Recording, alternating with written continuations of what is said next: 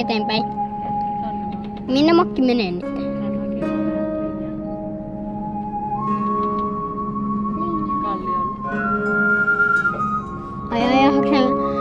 Aikohaks hän ajaa Karille kalliolle?